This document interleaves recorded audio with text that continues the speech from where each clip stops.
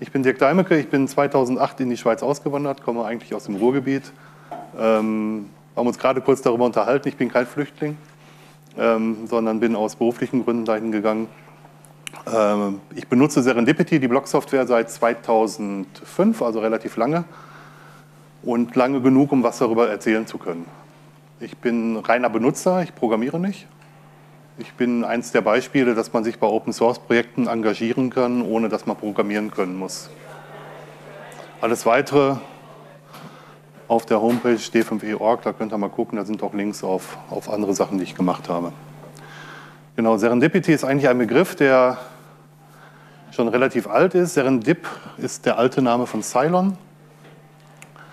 Und Serendipity beschreibt als Begriff Zufallsfunde, dass man etwas findet, äh, man hat irgendwas gesucht, man findet irgendwas anderes, was, was toll ist.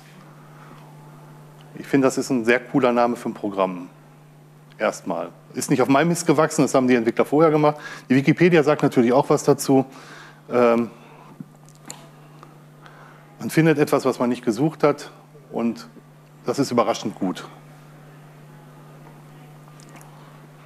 Für die Dauer dieses Vortrags ist Serendipity oder kurz S9Y, ihr kennt das Prinzip, S vorne, neun Buchstaben, am Ende ein Y ist für die Dauer des Software mit, äh, eine Software, mit der man einen Weblog betreiben kann.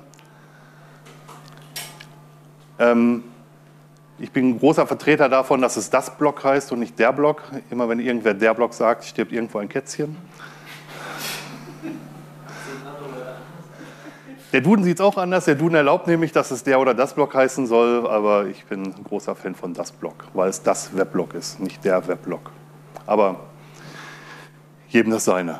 Sprich, Serendipity, ihr habt es nicht gesucht, aber da ihr heute da seid, habt ihr es gefunden. Serendipity gibt es mittlerweile, mittlerweile seit 2002 ist auch sehr schön. Nein, Serendipity gibt es seit 2002, ist damit 15 äh, Jahre alt in diesem Jahr.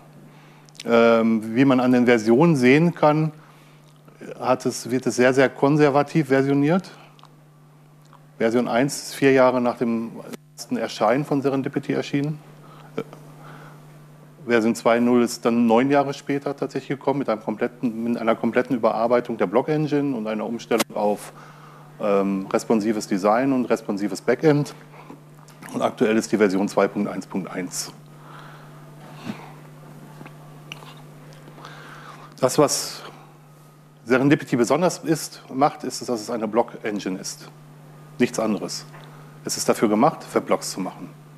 Es ist nicht wie WordPress ein CMS, oder wie Joomla, ein CMS mit Blockfunktion. Es ist einfach eine Weblog-Software, ein Blog.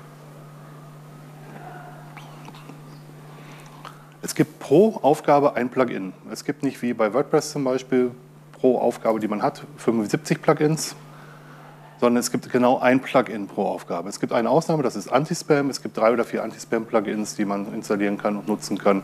Aber das ist auch die einzige Ausnahme. Ansonsten wird versucht, wenn es neue Feature-Requests gibt, diese Feature-Requests in das Plugin einzubauen, das es bereits gibt. Es zeichnet sich aus durch langfristige Stabilität. Das sagen alle Projekte, aber wir können das auch beweisen, weil es gibt Weblogs, die es schon sehr lange gibt und die immer auf der gleichen Codebasis arbeiten und auch funktionieren. Und es ist mit einer BSD-Lizenz auch maximal frei, wenn man so will. Als Beispiel mag mein eigenes Blog gelten. Dirks Logbuch gibt es seit 2005, damit zwölf Jahre. Es ist immer noch die gleiche Installation wie zu Beginn. Also gleiche Installation bedeutet, dass ich es natürlich regelmäßig aktualisiert habe, aber ich habe jetzt nichts an der Konfiguration großartig geändert, sondern ich habe immer weiter aktualisiert. Ich habe Themes mehrfach gewechselt, quasi Tapetenwechsel, wenn man so möchte. Ich habe es regelmäßig aktualisiert. Das geht einfach dadurch, dass man eine ZIP-Datei oder eine TAGZ-Datei auspackt und die Inhalte da reinkopiert. Beim nächsten Aufruf der URL wird gefragt, ob man aktualisieren möchte. Man drückt auf OK und dann ist das aktualisiert. Die neuesten Versionen lassen sich auch direkt aus dem Backend aktualisieren. Ähm, aber wie gesagt, es ist die gleiche Installation ohne große Änderungen. Die läuft seitdem in 1 durch. Also Plugins habe ich auch verschiedene, schon eigentlich fast alle ausprobiert und bin beim Satz von Plugins geblieben mit denen ich gerade gut zurechtkomme. Ähm, das Blog selber hat schon einige Provider- und Technologiewechsel hinter sich. Ähm, neue Apache-Versionen, neue Datenbank-Versionen, neue PHP-Versionen und immer mit dem, mit dem, gleichen Code und immer gleichzeitig auch durchaktualisiert. Von MySQL auf MariaDB gewechselt, ohne, ohne Probleme und ohne dass irgendwas anderes umgestellt hätte werden müssen, weil es durch einen Updater erkannt wurde, was, was da neu läuft und was da neu funktioniert. Demnächst gibt es wieder einen Wechsel, ich möchte migrieren und ich möchte, von, ähm, möchte auf Nginx mit PHP 7 wechseln. Momentan läuft das auf äh, CentOS mit PHP, ähm, ja, mit PHP 5.6. Datenbank wechsle ich nicht, bin ich mit MariaDB sehr zufrieden. Aber ähm, das sollte hoffentlich auch problemlos sein, sonst werdet ihr irgendwelche Flüche bei mir im Blog lesen, wenn es nicht funktionieren sollte. Wenn es dann überhaupt noch läuft. Ähm, aber ich, ich bin da sehr zuversichtlich. S9Y steht für Verlässlichkeit. Das habt ihr an dem sehr, sehr konservativen Versionierungsschema äh, gesehen. Wir sind sehr, sehr sparsam darin, neue Versionen zu veröffentlichen. Es gibt immer kleine, kleine Änderungen ähm, und wir versuchen immer so rückwärtskompatibel wie möglich zu sein. Das hat sich mit Version 2.0 äh, jetzt geändert. Mit Version 2.0 äh, ist die Unterstützung für PHP 5.4 rausgeflogen. Wir setzen momentan PHP 5.6 voraus. Ähm, aber wir haben uns sehr schwer damit getan, weil wir die auch noch unterstützen wollten eigentlich. Aber irgendwann war auch Zeit für einen Wechsel. Es ist sicher, relativ sicher, absolute Sicherheit gibt es nicht. Wir haben das große Glück, dass es einige Security-Firmen gibt, die sich, PHP, die sich Serendipity als ähm, Objekt ihrer Begierde ausgesucht haben und da regelmäßig Audits drüber fahren und uns sehr schnell informieren, wenn sie irgendwelche Sicherheitslücken finden. Und die Sicherheitslücken, wenn sie gefunden sind, sind innerhalb von ein bis zwei Tagen gefixt und auch tatsächlich auf den aktuellen Stand gebracht. Und deswegen gibt es relativ viele Minor-Versionen, um das halt ähm, zu reflektieren. Äh, sehr, sehr viel, das ist auch zu viel gesagt. Die letzte Minor-Version ist vor vier Monaten, glaube ich, rausgekommen. Seitdem hat sich nicht mehr so viel getan. Es ist sehr gut erweiterbar, es hat eine sehr gute Plugin-Architektur. Ihr könnt selber Plugins schreiben, ihr könnt aber auch die Plugins, die da sind, erweitern. Das ganze Projekt liegt auf GitHub. Die Adressen sage ich euch gleich noch. Ähm, und ihr könnt euch da mit Pull-Requests beteiligen, wenn ihr wollt. Neue, neue, Entwickler und neue Leute, die beitragen, sind wirklich sehr gerne gesehen. Und ist benutzerfreundlich, das behaupte ich nicht nur, das zeige ich gleich auch. Ich habe eine Live-Demo vorgesehen. Und ähm, dass ihr euch davon überzeugen könnt, wie das, wie das Ganze funktioniert. Entschuldigung. Es gibt ein ähm, ein, ähm, einen Menschen, der sich Hostblogger nennt, Manuel Schmidt, der ist äh, Chef der Firma Manitou, der auch sehr, sehr lange schon Serendipity benutzt, auch, auch über zehn Jahre. Und der ganz klar sagt, wenn es ums reine Bloggen geht, sollte man sich vielleicht mal Serendipity angucken. Wir sagen nicht, dass wir das Beste sind, aber wir, wir glauben, dass wir eine sehr gute Alternative sind. Wenn man eine, ein CMS braucht, dann ist Serendipity in jedem Fall das Falsche. Das gleich zur Warnung gesagt dann braucht man sich damit gar nicht erst auseinandersetzen. Fürs reine Bloggen ist es super. Kleiner Funfact am Rande: Der Erfinder von PHP nutzt auch Serendipity als Blog. Sogar mit dem Standard-Theme.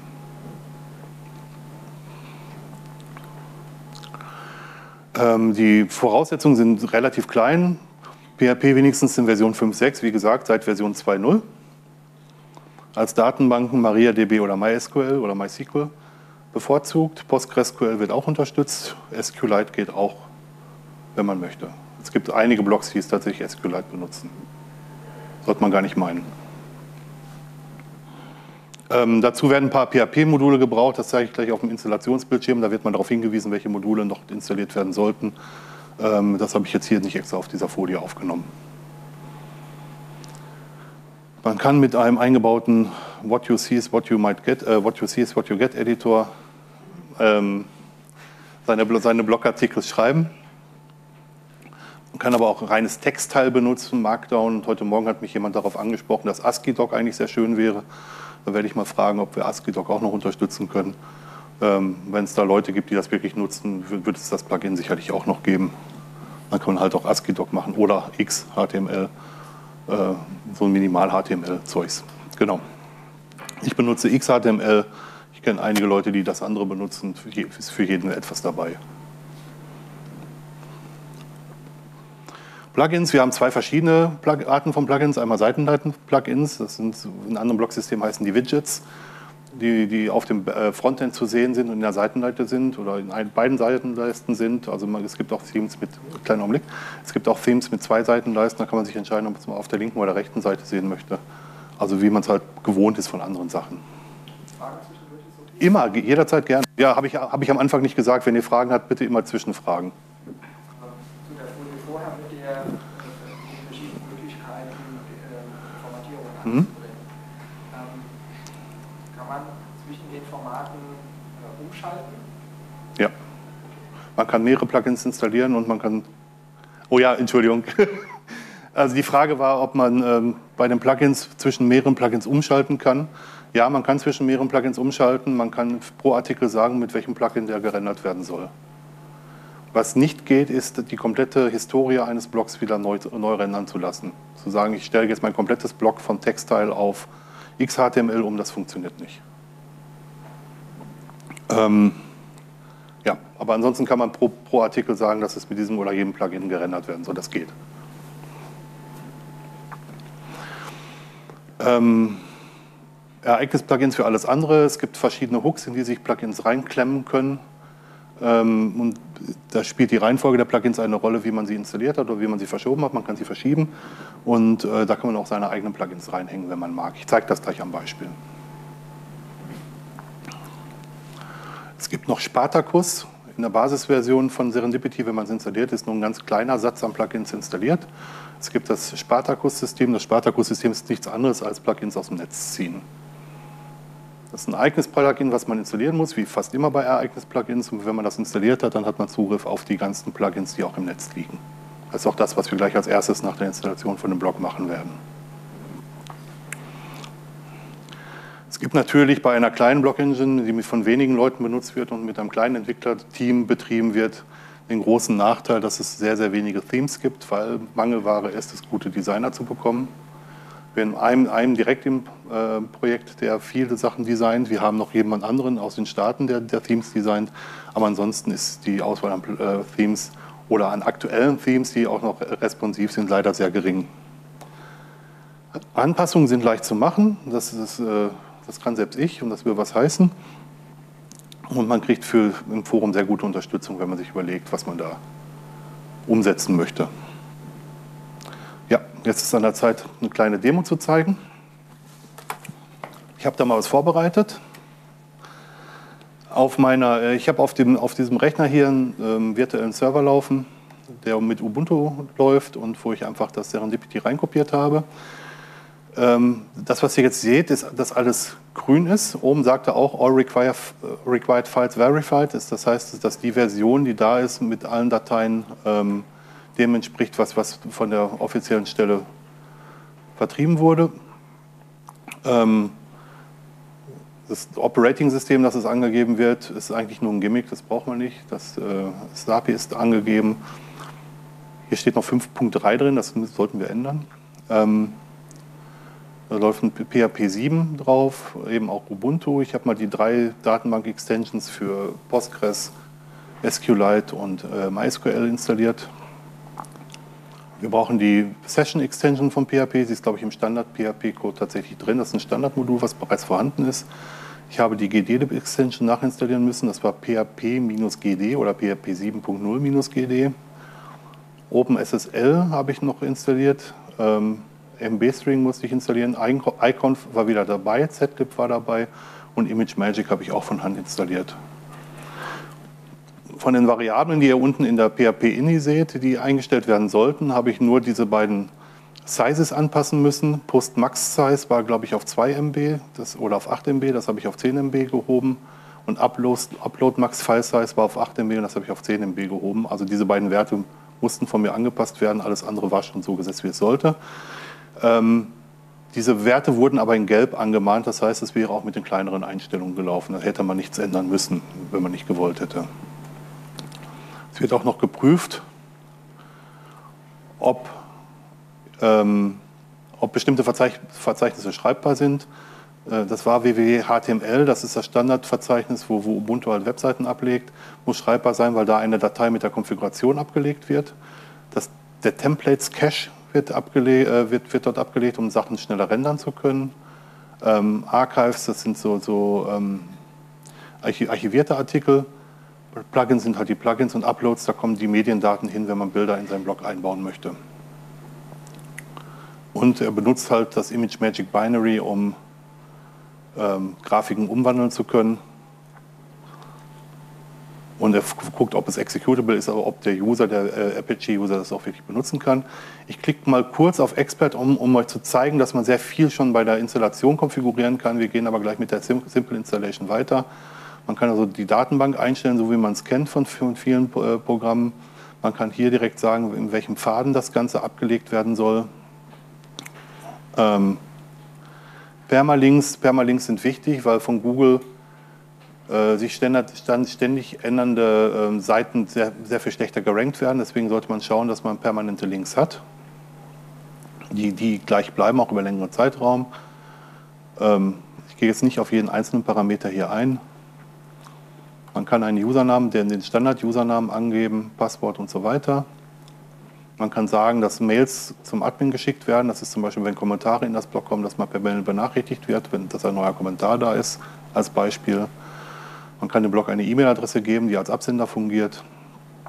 Und wie viele Einträge auf der Frontseite zu sehen sind, also alles, ähm, es ist alles sehr fein konfigurierbar. Ich gehe jetzt nicht auf jeden einzelnen Punkt ein. Deswegen gehen wir kurz zurück auf die Simple Installation.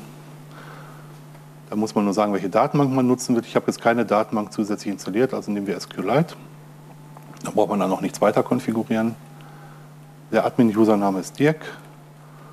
Das Passwort ist auch Dirk.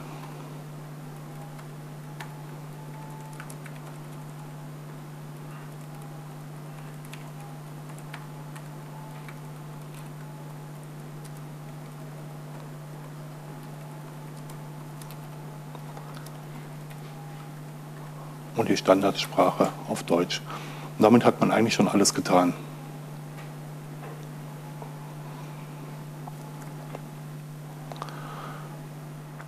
Hier würde irgendwas rot oder gelb aufblinken, wenn, wenn, wenn was nicht funktionieren würde. Es scheint aber alles gut funktioniert, gut funktioniert zu haben. Und schon ist das Block da.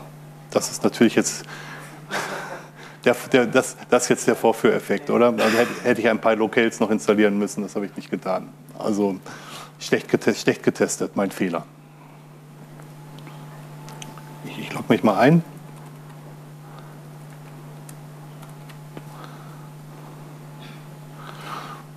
So sieht das Backend aus. Man kann direkt einen neuen Eintrag verfassen. Hier wäre jetzt XHTML die Standardeinstellung. Wir werden gleich noch den TK-Editor installieren, um zu sehen, dass man auch so einen What You See is What You Get Editor haben kann. Äh, man kann bestehende Einträge bearbeiten. Es gibt noch keine, natürlich noch keine bestehenden Einträge. Man kann äh, Einträge in Kategorien zuordnen. Man kann auch Tags vergeben, wenn man mag. Viele Leute benutzen keine Kategorien mehr, ich schon.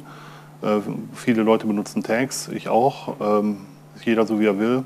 Man kann Mediendaten hinzufügen, halt Bilder, wie man es so, so kennt. Kann dann hinter in dieser Mediendatenbank auch nachschauen, welche Bilder da sind, diese vergrößern und verkleinern können.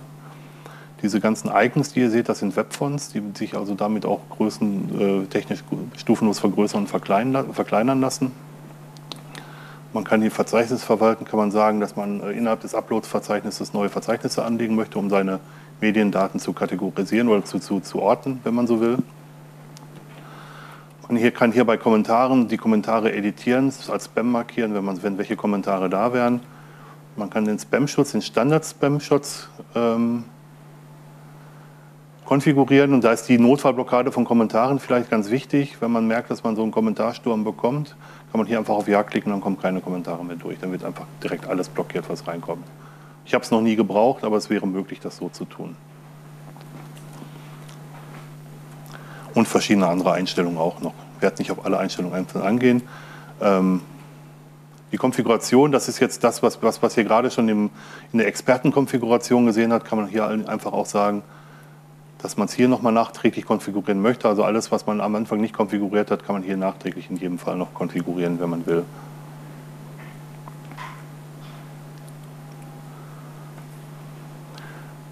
Und Themes gibt es natürlich auch Netzwerkprobleme. Okay, ich versuche mal hier noch, noch Netz zu bekommen.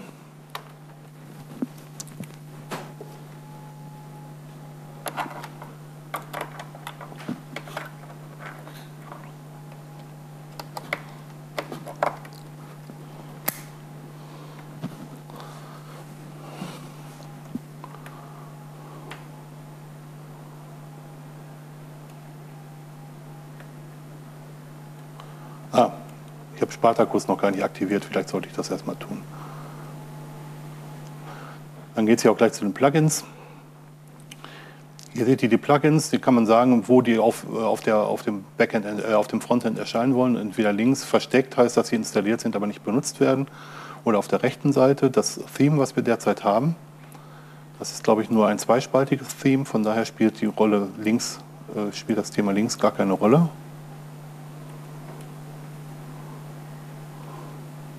Ja, ist nur ein zweispaltiges Theme. Und die kann man hier verschieben, so wie man es kennt, oder auch konfigurieren. So wie man es halt von anderen Sachen auch kennt. Das ist ja jetzt keine, keine große, große Kunst. Man kann, ihr seht hier auch die Ereignis-Plugins, aktiv, inaktiv, welche hier installiert sind und welche nicht. Können wir hier ein weiteres Plugin installieren. Das habe ich bis jetzt noch nicht gehabt.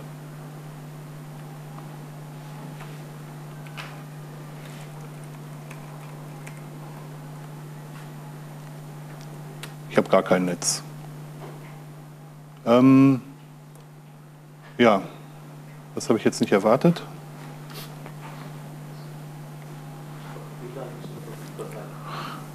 Ja, ich hätte auch gedacht, dass ich im WLAN bin.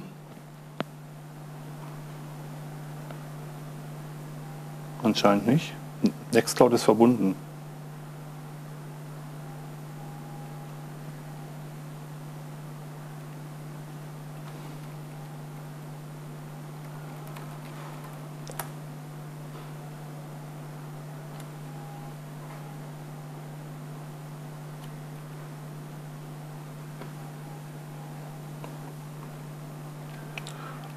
Nein, ist es nicht. Tut mir leid.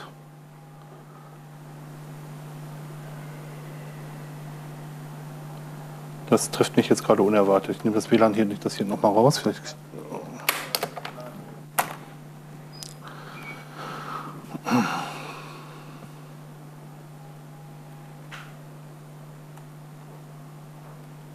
Jetzt hat das doch geladen.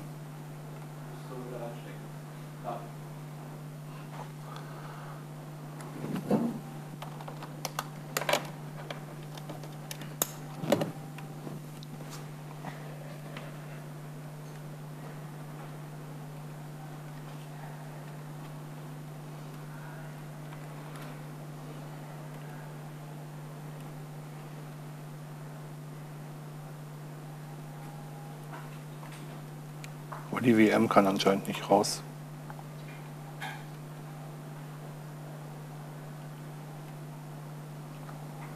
Naja.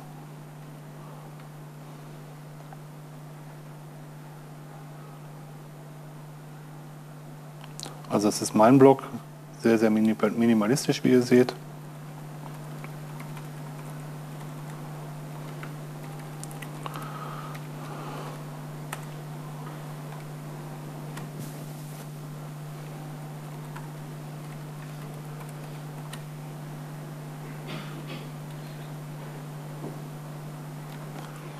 Seht ihr dann auch schon, schon ein bisschen mehr, also dass auch wirklich ähm, Kommentare drin sind, wie man hier mit Kommentaren umgehen kann in dem Blog, dass man direkt draufklicken kann und bei einem eigentlichen Kommentar liegt.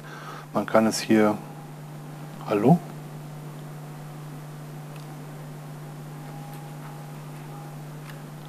Man kann es hier, wenn man hier diesen Daumen nach unten nimmt, dann wird es als Spam markiert. Äh, man kann den Kommentar editieren, wenn man möchte. Man kann hier aus dem Backend auch äh, Kommentare beantworten. Hier sieht man die Artikel, die in Vorbereitung sind, also quasi Draft-Artikel, Entwürfe. Ähm, bei den Plugins ist eine Menge, Menge mehr zu sehen, wenn man das ähm, Spartacus-Plugin installiert hat. Hier kann man die ganzen Plugins sehen, die in meinem Blog installiert sind und auch Sachen selber noch installieren. Das sollte jetzt ja funktionieren. 173 Plugins gibt es insgesamt. Wenn man sich jetzt überlegt, dass es pro Aufgabe nur ein Plugin gibt, werden hier schon eine Menge Aufgaben mit diesen Plugins gelöst. Also es gibt ein Plugin für Podcasts. Was ich sehr schade finde, ist, dass es nicht so toll ist, wie ich mir das gerne erwarten würde. Ich weiß von Radio Tux, dass zum Beispiel das Podcast-Plugin sehr intensiv nutzt. Mein alter Podcast hat auch. Bitte? Sind ja die einzigen Blog-Einträge, die ihr macht. Sind die einzigen Blog-Einträge, die ihr macht, genau. Ähm, es gibt verschiedene Spam-Schutz-Plugins, Recapture, wenn man äh, Spam-Schutz einschalten möchte und ähm, den User noch was eingeben lassen möchte. Das, das kennt ihr alle. Es gibt äh, Editor-Möglichkeiten, es gibt verschiedene What You See is What You Get Editoren. Der CK-Editor ist der Standard-Editor, den ich gar nicht benutze. Den können wir mal eben installieren.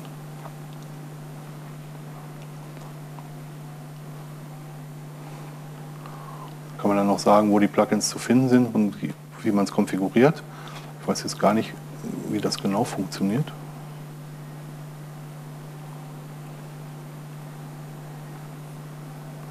erweiterter Eintrag. Das, das tut mir leid, das wir haben mich jetzt ein kleines bisschen aus dem Konzept geworfen.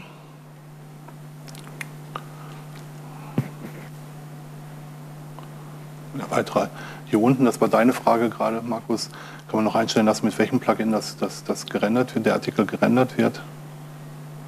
Ich weiß jetzt tatsächlich nicht, wie man diesen Editor einschaltet. Gute Vorbereitung, tut mir leid.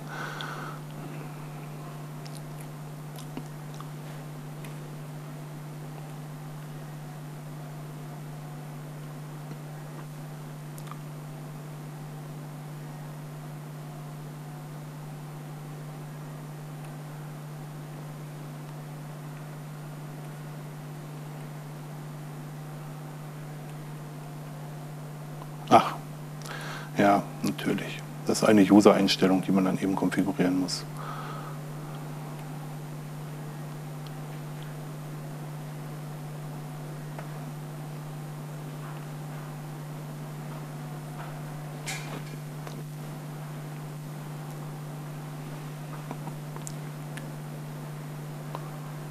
What you see is what you get Editor verwenden, ja.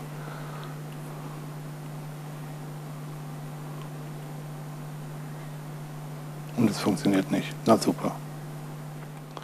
Ja, sorry. Das tut, das tut mir leid. Das ist doof gelaufen.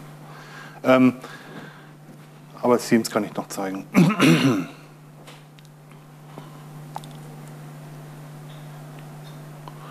Also im, im, im, Backend kann man sich halt auch die Themes aussuchen. Die sind relativ leicht zu konfigurieren, indem man hier sagt, was das können soll. Ich habe oben eine, in der Leiste eine, eine ähm,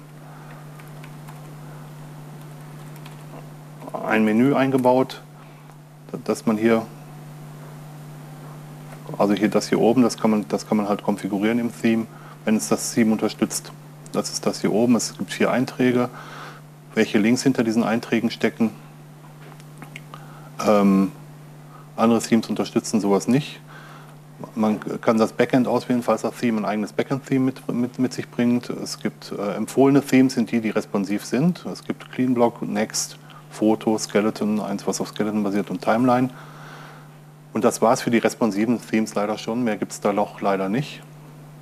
Dann gibt es aber noch einen Haufen Ultra-Themes, die nicht responsiv sind. Aber wie schon gesagt, nicht so viele wie bei, ähm, wie bei WordPress. Lange nicht so viele wie bei WordPress. Und in der heutigen Zeit möchte man gerne responsive Themes haben, die auch auf Mobile Devices relativ gut aussehen. Genau. Ja. Gar nicht. Das musst, musst du installieren oder hier eventuell in die, ähm, in die Informationen gucken. Auf, in dieser Übersicht erkennst du es gar nicht. Tatsächlich, du musst es installieren. Äh, die Frage war, an, wel, an welchen ähm, woran man erkennt, ob ein Theme responsiv ist und man erkennt es halt gar nichts, außer dass man es installiert oder in die Informationen guckt, es der Autor dazu geschrieben hat. Das steht auch drin, ob es eine äh, angepasste Admin-Oberfläche gibt oder nicht. Sind dazu Fragen soweit?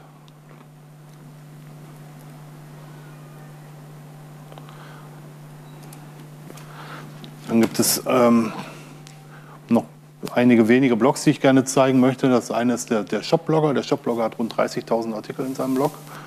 Das zeigt dann irgendwie auch, dass das äh, performant laufen kann mit sehr vielen Artikeln. Das ist so, das liegt der, an der kleinen Auflösung geschuldet. Ähm, dass es ein bisschen Verhackstück wirkt.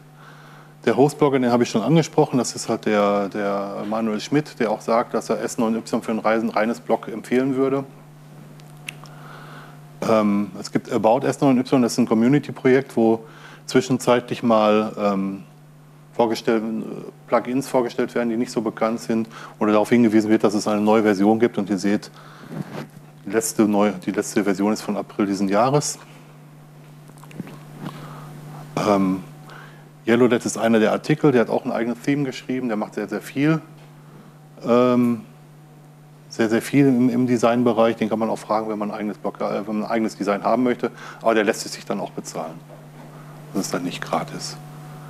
Er arbeitet als Frontend-Designer. Das ist ein anderer Podcast. S9Y Infocamp ist ein Podcast über Serendipity, wo man sich reinhören kann, wenn man ein bisschen Hintergründe erfahren möchte. Was von dem selbsternannten Evangelisten, Serendipity-Evangelisten Robert Lender gemacht wird, zusammen mit dem Matthias Mees, dem Entwickler YellowLet, den ihr vorher gesehen habt. Das ist das von Robert Lender, der ist in Österreich, das ist auch ein Custom-Theme. Ähm, also Serendipity kann auch anders aussehen, als so die Standard-Themes hergeben. Wollte ich damit zeigen. Und mal was ganz anderes. Das ist auch ein Spieltheme. Also man kann auch aus den, das ist äh, das Standard-Theme 2K11 was, was derjenige, der das Blog betreibt, einfach leicht angepasst hat. Das ist relativ gut möglich. Das habe ich schon kurz angesprochen. Es gibt ein relativ kleines Team rund um Garvin Hicking, das, das ist der in Anführungsstrichen Chefentwickler. Äh, bis auf einen sind alle Deutsch-Muttersprachler, das heißt, man kommt auch mit der deutschen Sprache da relativ gut weiter, muss halt nicht für sich selber übersetzen wenn man nicht so fit ist in Englisch, das ist gar kein Problem. Hauptsprache im Forum ist Englisch, aber es gibt ein deutschsprachiges Forum, wo alle deutschsprachigen Fragen gestellt werden können. Ähm, das ist schon angesprochen, das GitHub-Projekt, github.com s9y, da findet ihr alles zu Serendipity. Alle Plugins findet ihr in Additional Plugins. Man kann also mit der Entwicklerversion fahren, das mache ich mit meinem Blog. Alle Themes findet man in Additional Themes. Und die eigentliche Blog-Software findet man sich in Serendipity, findet man in Serendipity. Äh, das ist so, wie ich das installiert habe, direkt ausgeht. Und es funktioniert problemlos. Das schon angesprochene Blog. Der deutsche, der deutsche Teil des, äh, das angesprochene Forum, der deutsche Teil des Forums ist ungefähr hier. Ähm, das passte leider nicht mal mit auf die Seite. Ich habe initiiert, dass wir einmal im Jahr ein, ein Camp im, im Linux-Hotel machen. Da sind Entwickler und Gäste willkommen, wenn ihr Interesse daran habt, mit den Entwicklern ins Gespräch zu kommen. Äh, in der Regel im Oktober startet ein Aufruf mit einem Doodle, zu welchem Termin wir das machen. Da sind alle Leute willkommen, die gerne teilnehmen wollen. Man muss kein Entwickler sein, man kann auch gerne als User kommen. Wir hatten beim ersten Treffen auch eine, Userin dabei, die einfach mal dabei sein wollte, die ein paar Fragen gestellt hat. Das machen wir sehr gerne. Und das Linux Hotel ist eine der besten Locations für sowas. Das kann, glaube ich, jeder bestätigen, der schon mal da war. Ja. Eure Fragen, wenn ihr Fragen habt. Ja. Gibt es eine Lösung, um äh, Offline-Artikel zu schreiben, die später auch online zu stellen? Weil hm. ich habe das Problem, wenn ich in der Warteliste bin und hm. mein Text nicht schreibe und dann rüber kopieren muss. Hm. Ich habe mal versucht, selbst ein Plugin zu schreiben, dann hm. habe ich keinen Index mehr in meinem äh, Blog. Hm.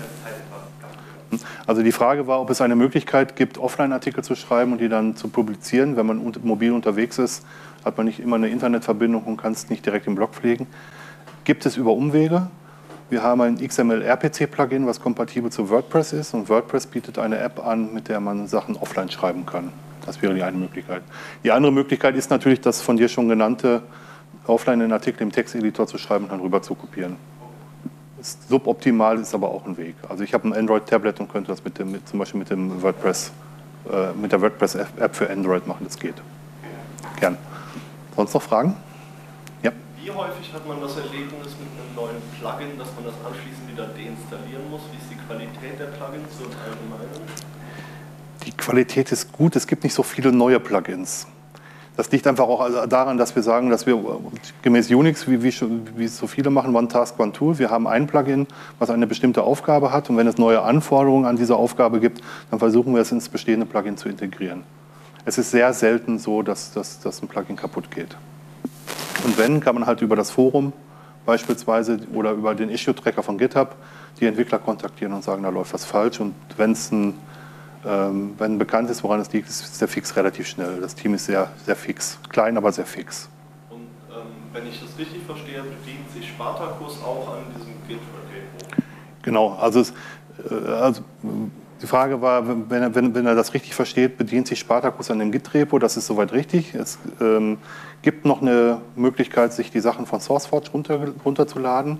Das ist historisch auch noch in der Spartacus-Einstellung drin, dass SourceForge kontaktiert wird aber unsere Empfehlung ist, GitHub zu nutzen, weil das unsere aktivste Plattform ist. Wir pflegen das andere nur aus Backward Compatibility Gründen, dass Leute, äh, die sich nicht so sehr um den Blog kümmern, immer noch darauf zugreifen können.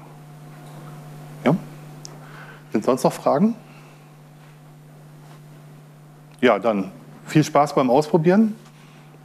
Danke, dass ihr euch das angucken wollt. Es tut mir leid, dass die Live-Demo baden gegangen ist. Äh, das habe ich mir ein bisschen anders vorgestellt. Ich besser testen müssen. Tut mir leid.